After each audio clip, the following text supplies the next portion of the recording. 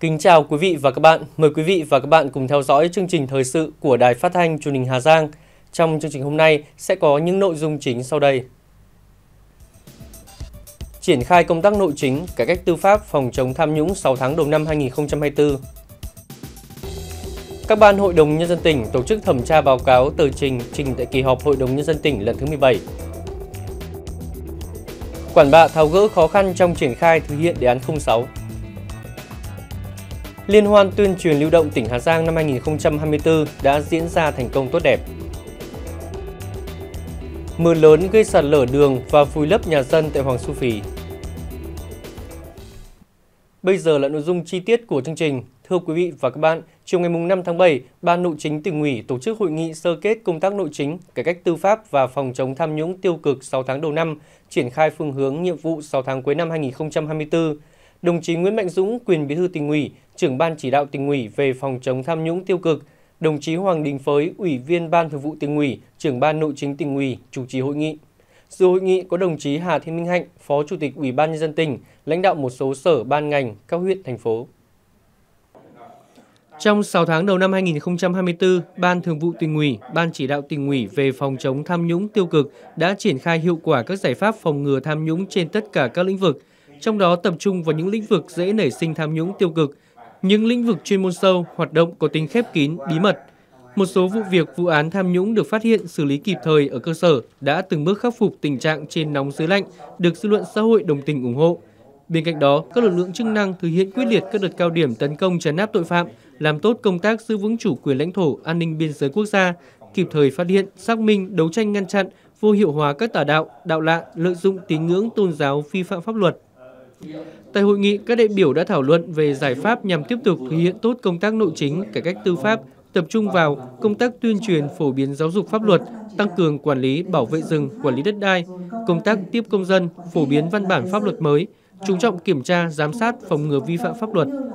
Kết luận hội nghị, đồng chí Nguyễn Mạnh Dũng, quyền bí thư tỉnh ủy yêu cầu nhiệm vụ 6 tháng cuối năm 2024, các cấp các ngành cần tiếp tục đẩy mạnh công tác tuyên truyền, phổ biến, quán triệt chủ trương, chính sách của Đảng, pháp luật của nhà nước về công tác nội chính, phòng chống tham nhũng tiêu cực và cải cách tư pháp, tăng cường nắm tình hình ngoại biên trên tuyến biên giới, các vấn đề dân tộc, tôn giáo, không để xảy ra điểm nóng bất ngờ. Thực hiện tốt công tác tiếp công dân, đối thoại với công dân, tiếp nhận và xử lý đơn thư khiếu nại tố cáo, phản ánh kiến nghị gửi đến thường trực tỉnh ủy, ban chỉ đạo tỉnh ủy về phòng chống tham nhũng tiêu cực. Đồng thời là chúng ta phải theo dõi, đôn đốc thực hiện các kết luận của thanh tra, của kiểm toán cũng như việc giải quyết một số đơn thư mà thường trực tỉnh ủy, ban chỉ đạo tỉnh ủy về phòng chống tham nhũng tiêu cực giao. Tiếp tục thực hiện tốt cái quy chế phối hợp giữa các cơ quan, đơn vị trong thực hiện các nhiệm vụ, đặc biệt là trong hoạt động điều tra, truy tố, xét xử và giải quyết tin báo tố giác tội phạm. Rồi đẩy nhanh tiến độ giải quyết các vụ việc, vụ án thuộc diện Ban Thường vụ tỉnh ủy theo dõi chỉ đạo, Ban chỉ đạo tỉnh ủy về phòng chống tham nhũng tiêu cực theo dõi chỉ đạo.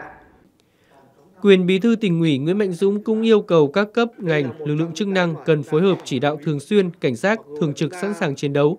chủ động triển khai các biện pháp phòng chống tội phạm qua biên giới, nhất là hoạt động mua bán, vận chuyển ma túy, tăng cường tuần tra, kiểm soát, phòng chống buôn lậu, gian lận thương mại, xử lý nghiêm các hành vi vi phạm về an toàn vệ sinh thực phẩm, thực hiện công tác quản lý, bảo vệ rừng, đấu tranh ngăn chặn các hành vi khai thác, vận chuyển, buôn bán lâm sản trái phép. Sáng ngày 6 tháng 7, Ban Kinh tế Ngân sách Hội đồng Nhân dân tỉnh tổ chức họp thẩm tra các văn bản trình kỳ họp thứ 17 Hội đồng Nhân dân tỉnh khóa 18, nhiệm kỳ 2021-2026. Dự họp có đồng chí Thảo Hồng Sơn, Phó Bí thư Thường trực tỉnh ủy, Chủ tịch Hội đồng Nhân dân tỉnh, đồng chí Hoàng Văn Vịnh, Phó Chủ tịch Hội đồng Nhân dân tỉnh, lãnh đạo một số sở ngành, các ban Hội đồng Nhân dân tỉnh. Tại cuộc họp, đại diện Ban Kinh tế Ngân sách đã thông qua kết quả thẩm tra năm báo cáo 12 dự thảo trình kỳ họp thứ 17 Hội đồng Nhân dân tỉnh, như báo cáo kết quả thực hiện kế hoạch phát triển kinh tế xã hội 6 tháng đầu năm, nhiệm vụ trọng tâm 6 tháng cuối năm 2024, báo cáo về tình hình thực hiện dự toán thu ngân sách nhà nước, chi ngân sách địa phương và sử dụng dự phòng ngân sách 6 tháng đầu năm, giải pháp thực hiện nhiệm vụ 6 tháng cuối năm 2024. Báo cáo kết quả thực hiện các chương trình mục tiêu quốc gia về xây dựng nông thôn mới, giảm nghèo bền vững giai đoạn 2021-2025.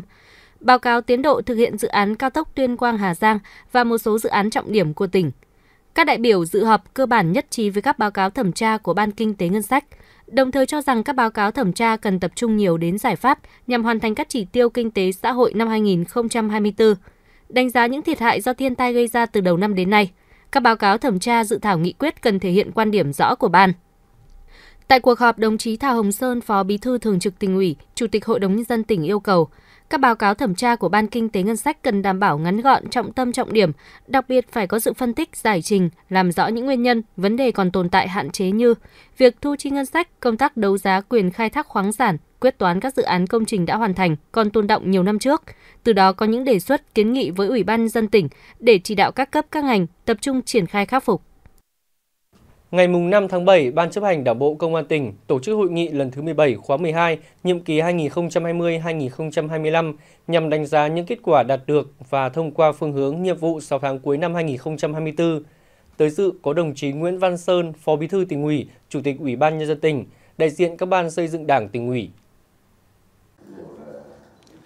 trong 6 tháng đầu năm 2024, Đảng ủy Công an tỉnh đã chủ động nắm tình hình, kịp thời tham mưu cho tỉnh ban hành triển khai thực hiện có hiệu quả các chủ trương, giải pháp đảm bảo an ninh trật tự và xây dựng lực lượng công an vững mạnh toàn diện,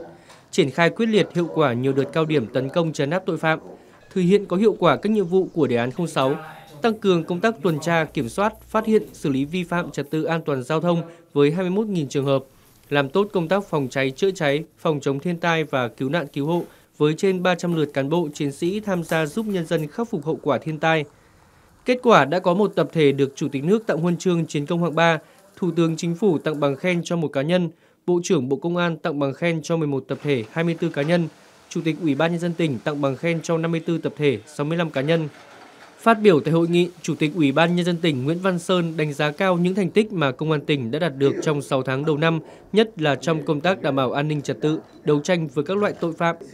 Về nhiệm vụ trọng tâm trong thời gian tới, Chủ tịch Ủy ban Nhân dân tỉnh chỉ đạo Công an tỉnh cần tiếp tục làm tốt vai trò tham mưu cho tỉnh ủy, Hội đồng Nhân dân, Ủy ban Nhân dân tỉnh trong công tác đảm bảo an ninh trật tự, tăng cường công tác bảo vệ an ninh biên giới, an ninh chính trị nội bộ, an ninh văn hóa và bảo vệ bí mật nhà nước, phối hợp với các cơ quan, đơn vị tổ chức tốt cuộc diễn tập khu vực phòng thủ tỉnh Hà Giang năm 2024, tăng cường triển khai các biện pháp phòng ngừa, đấu tranh, ngăn chặn kịp thời các loại tội phạm,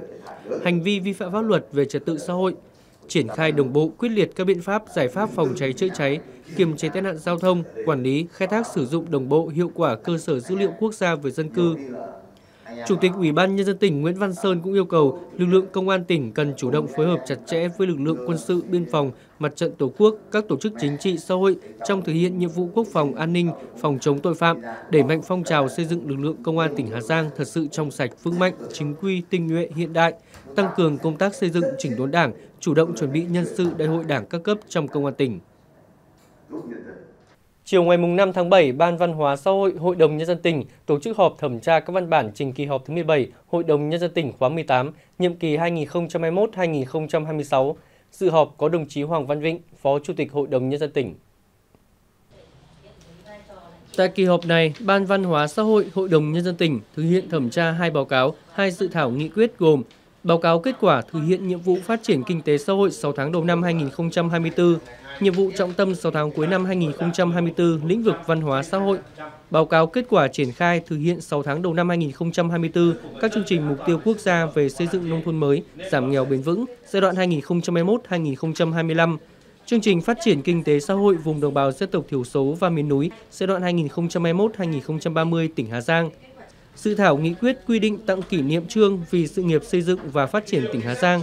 Dự thảo nghị quyết quy định giá dịch vụ khám bệnh chữa bệnh không thuộc danh mục do Quỹ Bảo hiểm Y tế thanh toán mà không phải là dịch vụ khám bệnh chữa bệnh theo yêu cầu đối với cơ sở khám bệnh chữa bệnh của nhà nước thuộc phạm vi quản lý của tỉnh Hà Giang.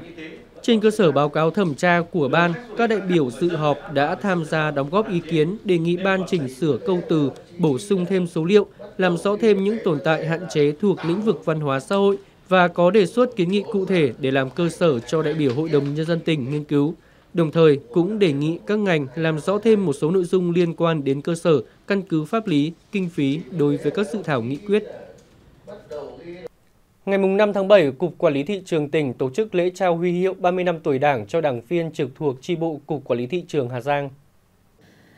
Tại buổi lễ, lãnh đạo Đảng ủy khối cơ quan doanh nghiệp tỉnh đã công bố quyết định và trao huy hiệu 30 năm tuổi Đảng cho đồng chí Vũ Quốc Khánh, Bí thư chi bộ, Cục trưởng Cục Quản lý thị trường Hà Giang, đồng thời nhấn mạnh Trao tặng huy hiệu 30 năm tuổi Đảng là sự ghi nhận của Đảng đối với những đóng góp tích cực của đồng chí đảng viên trong công cuộc bảo vệ, xây dựng và phát triển đất nước dưới sự lãnh đạo của Đảng. Trong 30 năm qua, đồng chí đã luôn phấn đấu, tu dưỡng, rèn luyện và tuyệt đối trung thành với mục tiêu lý tưởng cách mạng của Đảng, chấp hành nghiêm chỉnh các cương lĩnh chính trị, điều lệ Đảng Cộng sản Việt Nam, có đạo đức lối sống lành mạnh, gắn bó mật thiết với quần chúng nhân dân, hoàn thành tốt nhiệm vụ của người đảng viên. Nhận huy hiệu 30 năm tuổi Đảng, đảng viên Vũ Quốc Khánh khẳng định sẽ tiếp tục rèn luyện giữ vững phẩm chất người đảng viên, góp phần xây dựng tri bộ Cục Quản lý Thị trường tỉnh Hà Giang ngày càng vững mạnh. Ngày 5 tháng 7, Ban Quản lý Khu Kinh tế tỉnh tổ chức hội nghị sơ kết 6 tháng đầu năm 2024, triển khai công tác 6 tháng cuối năm của hoạt động liên ngành tại cửa khẩu quốc tế Thanh Thủy. Tham dự có một số sở ngành liên quan. Từ đầu năm đến nay, các hoạt động tại cửa khẩu quốc tế Thanh Thủy đảm bảo trật tự an toàn, không phát sinh điểm nóng. Các hoạt động thông quan xuất nhập khẩu hàng hóa và xuất nhập cảnh qua cửa khẩu diễn ra ổn định. Khách tham quan du lịch, cư dân biên giới qua lại mua bán trao đổi nhộn nhịp. Ban quản lý khu kinh tế tỉnh phối hợp với các đơn vị chức năng tại cửa khẩu quốc tế Thanh Thủy triển khai thực hiện tốt các nhiệm vụ của cơ quan chuyên môn, đảm bảo duy trì tốt các hoạt động tại cửa khẩu. Trong 6 tháng đầu năm 2024, tổng kim ngạch xuất nhập khẩu đạt 168 triệu đô la Mỹ, thu nộp ngân sách nhà nước đạt 105 tỷ đồng. Nhiệm vụ 6 tháng cuối năm, Ban Quản lý Khu Kinh tế tỉnh tiếp tục tăng cường phối hợp với các đơn vị chức năng liên ngành tại cửa khẩu quốc tế Thanh Thủy, thực hiện nghiêm các kết luận chỉ đạo của lãnh đạo tỉnh đối với nhiệm vụ quản lý các hoạt động tại cửa khẩu theo chức năng nhiệm vụ phối hợp thực hiện tốt nội quy quy chế tại cửa khẩu, giải quyết kịp thời những khó khăn vướng mắc của các tổ chức cá nhân, đảm bảo các hoạt động tại cửa khẩu diễn ra ổn định, đẩy mạnh công tác cải cách hành chính rút ngắn thời gian giải quyết thủ tục hành chính, tiếp tục thực hiện tốt công tác đối ngoại, đôn đốc đơn vị thi công đẩy nhanh tiến độ dự án trạm kiểm soát liên ngành, phấn đấu hoàn thành đưa vào sử dụng trong tháng 8 năm 2024. Thưa quý vị và các bạn, luật đất đai sửa đổi có hiệu lực thi hành từ ngày 1 tháng 8 năm 2024. Một trong những nội dung được chú ý trong luật đất đai sửa đổi là việc đăng ký đất đai, cấp giấy chứng nhận quyền sử dụng đất, quyền sở hữu nhà ở và tài sản khác gắn liền với đất. Chương 10 của luật gồm 25 điều, từ điều 128 đến điều 152 đã quy định chuẩn hóa giấy chứng nhận quyền sử dụng đất, quyền sở hữu tài sản gắn liền với đất, quy định rõ thẩm quyền cấp giấy chứng nhận nhằm phân định rõ quyền đại diện chủ sở hữu toàn dân về đất đai của cơ quan nhà nước thông qua việc cấp giấy chứng nhận lần đầu. Tách riêng giữa hai vai trò quản lý nhà nước với việc cung cấp dịch vụ công của cơ quan đăng ký, đưa công tác cấp giấy chứng nhận được chuyên nghiệp hóa, làm cơ sở cho việc thống nhất công tác đăng ký đất đai, quản lý hồ sơ địa chính từ trung ương tới địa phương. Chương này cũng bổ sung quy định giao cho Ủy ban Nhân dân cấp tỉnh quy định các loại giấy tờ khác về quyền sử dụng đất có trước ngày 15 tháng 10 năm 1993 cho phù hợp với thực tiễn của địa phương. Ngoài ra, tại chương 10 của luật đất đai sửa đổi cũng quy định hình thức đăng ký đất đai. Đăng ký biến động đất đai được thực hiện đăng ký trên giấy hoặc đăng ký trên môi trường điện tử và đều có giá trị pháp lý như nhau. Tài sản gắn liền với đất được cấp giấy chứng nhận quyền sử dụng đất, quyền sở hữu tài sản gắn liền với đất là nhà ở, công trình xây dựng gắn liền với đất. Bổ sung quy định về đăng ký biến động đất đai đối với trường hợp có thay đổi về quyền sử dụng đất xây dựng công trình trên mặt đất, phục vụ cho việc vận hành khai thác sử dụng công trình ngầm, quyền sở hữu công trình ngầm.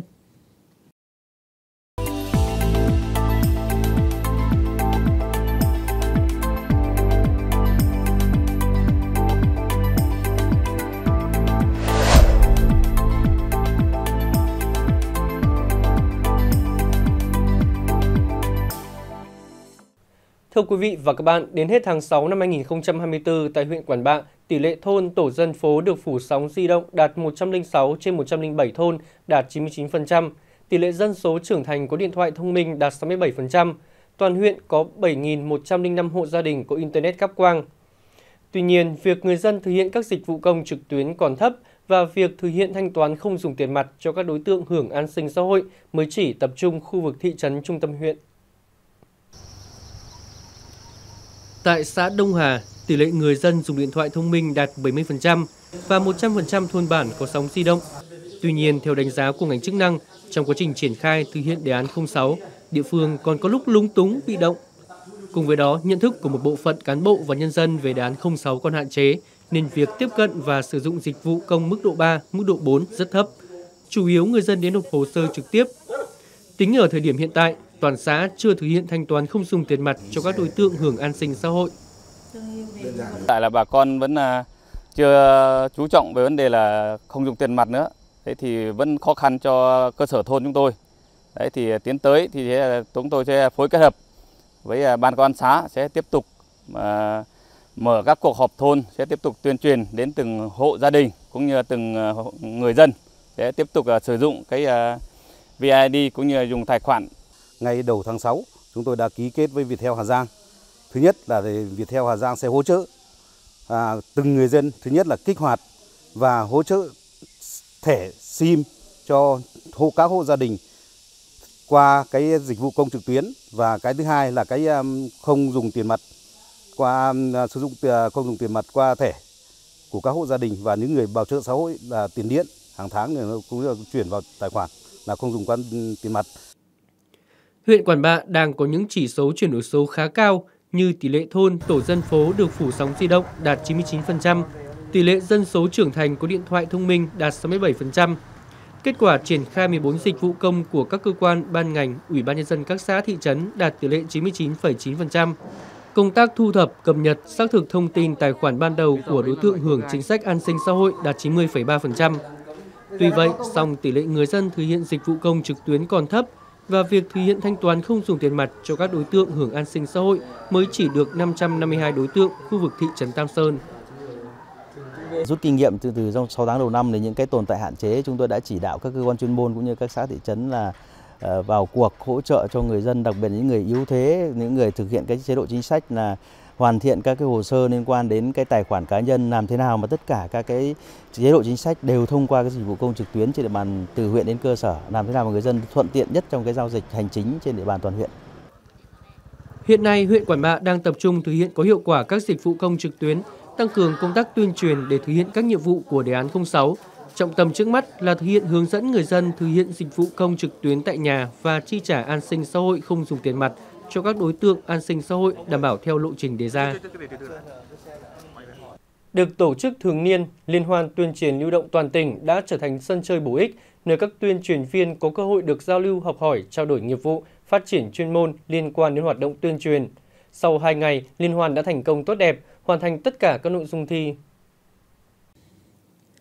Liên hoan tuyên truyền lưu động toàn tỉnh năm 2024 về xóa bỏ hủ tục phong tục tập quán lạc hậu và xây dựng nếp sống văn minh.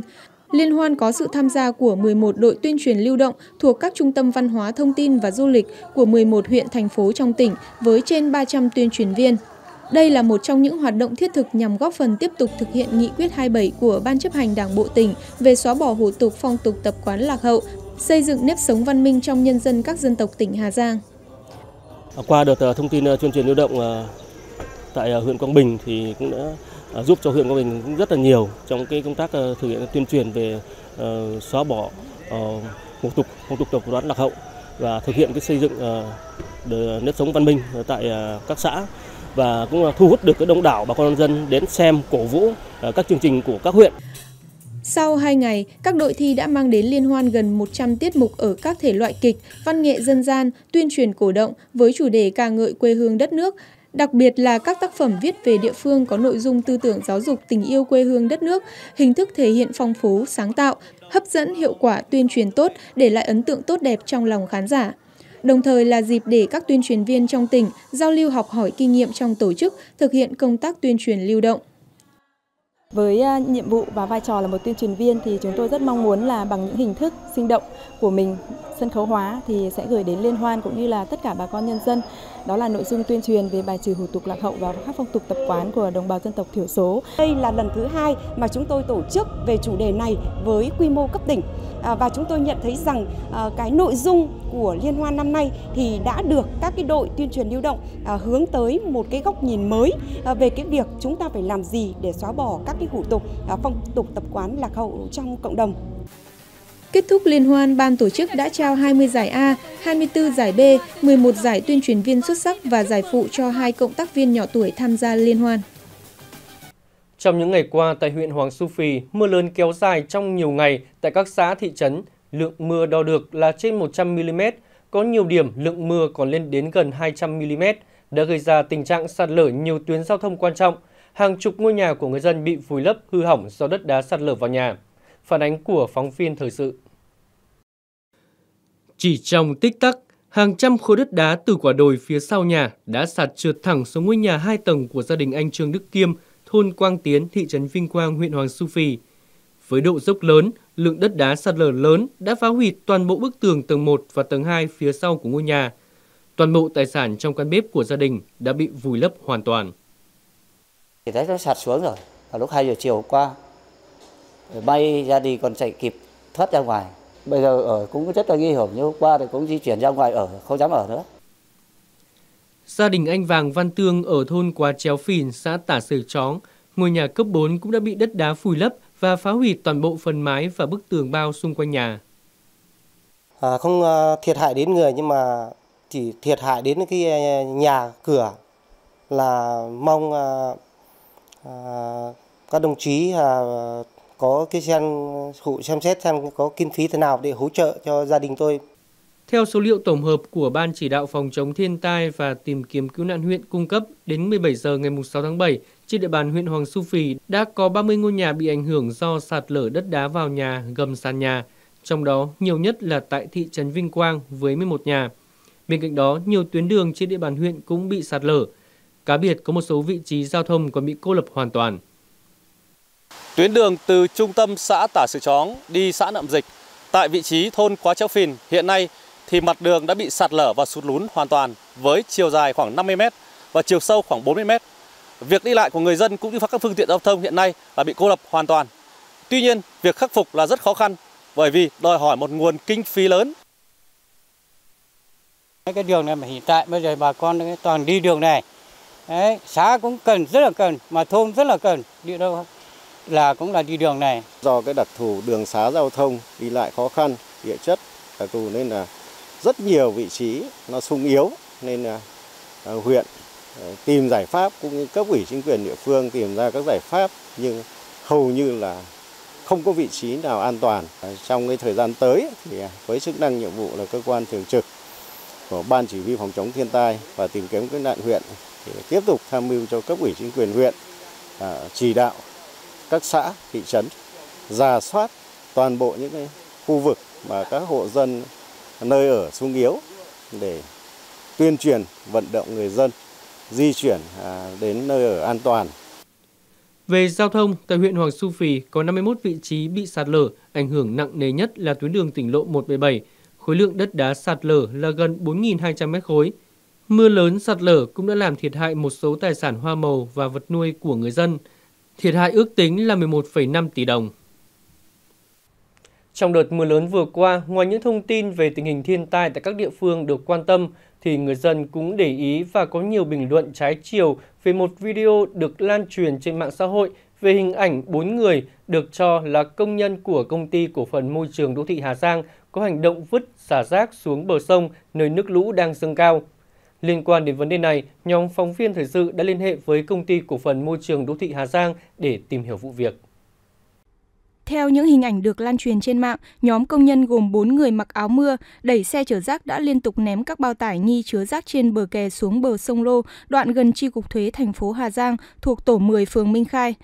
Tại thời điểm đó, thành phố Hà Giang đang mưa và mực nước sông đang dâng cao. Sau khi đoạn video được lan truyền, lãnh đạo công ty cổ phần môi trường đô thị Hà Giang đã tiến hành xác minh và làm việc với các bên có liên quan. À, có cái uh, clip của mạng xã hội thì cũng công ty cũng nắm được cái cái nội dung như vậy thì cũng mời bốn đồng chí uh, công nhân và cán bộ kiểm tra lên uh, lên lên công ty để họp để uh, kiểm điểm làm việc với lãnh đạo công ty, bốn công nhân của đội điện và vệ sinh đã thừa nhận hành vi đáng lên án của bản thân, đồng thời cho biết thêm số rác trên là rác thải sinh hoạt do người dân vứt rác bừa bãi trên bờ kè. Do đó, trong quá trình đi lao động về, bốn công nhân đã bộc phát là ném các túi rác trên xuống sông Lô. Ờ, kiểm điểm bốn đồng chí, ờ, sau đó thì ban lãnh đạo công ty quán triệt toàn bộ ờ, công nhân viên công ty không tái phạm vi phạm về sau này. Những hành động đáng lên án của bốn công nhân thuộc công ty cổ phần môi trường đô thị Hà Giang đã được làm rõ và kiểm điểm nghiêm túc. Song qua đây cũng cho thấy tình trạng xả rác bừa bãi của một số người dân thiếu ý thức đã khiến cho môi trường sống ngày càng bị ô nhiễm. Tất cả những hành động xấu này cần phải lên án mạnh mẽ bởi bảo vệ môi trường là bảo vệ chính cuộc sống của chúng ta.